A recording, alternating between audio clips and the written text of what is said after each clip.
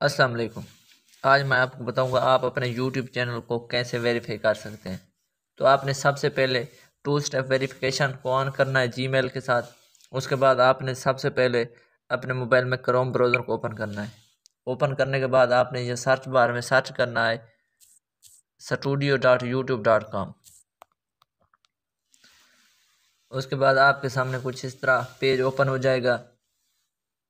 मेरे पास थोड़ा net slow है, जैसे ओपन होता है। ये देखें लोडिंग हो रही है। आपके सामने कुछ इस तरह पेज ओपन हो जाएगा। आपको यहाँ नीचे सेटिंग का ऑप्शन दिखाई देगा। मैं आपको दिखा देता हूँ। ये देखें सेटिंग का ऑप्शन दिखाई दे रहा है। आपने इस पर क्लिक करना है। इस पर क्लिक करने के बाद आपके सामने कुछ इस तरह इंटरफेस आएगा।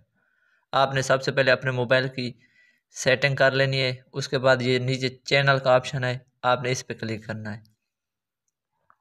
इस पर क्लिक करने के बाद मैंने ऑलरेडी अपने चैनल की पहले से सेटिंग की हुई है basic info advance setting future eligibility इसी तरह एडवांस सेटिंग पे क्लिक करता हूँ, उसके बाद फ्यूचर एलिजिबिलिटी पे क्लिक करता हूँ, ये देखें। ऑलरेडी मेरा चैनल पहले से वेरीफाई है स्टैंडर्ड फ्यूचर अनेबल है दूसरा फ्यूचर भी अनेबल है आपने इस पर क्लिक करना है। इस पर क्लिक करने के बाद default future enable and verify phone number मेरा पहले से मौजूद है। आपने जहाँ अपने फ़ोन नंबर को वेरीफाई करना है। जैसे ही आपने अपने फ़ोन नंबर को यहाँ वेरीफाई किया, उसके बाद आपको कस्टम थंबनेल लगाने का ऑप्शन दिया जाता है वाई टी स्टूडियो में। आप उस वेरीफाई से आप पंद्रह मिनट से लंबी वीडियो पे अपलोड कर सकते हैं। मैंने पहले से वेरीफाई कर दिया है अपना चैनल इसी तरह आप भी अपने चैनल को वेरीफाई कर लें। उसके बाद बैक चलते हैं। बैक चलने के बाद आपने अपने यूट्यूब की सेटिंग अच्छी तरह करनी है चैनल की। ये पेज ओपन हो रहा है।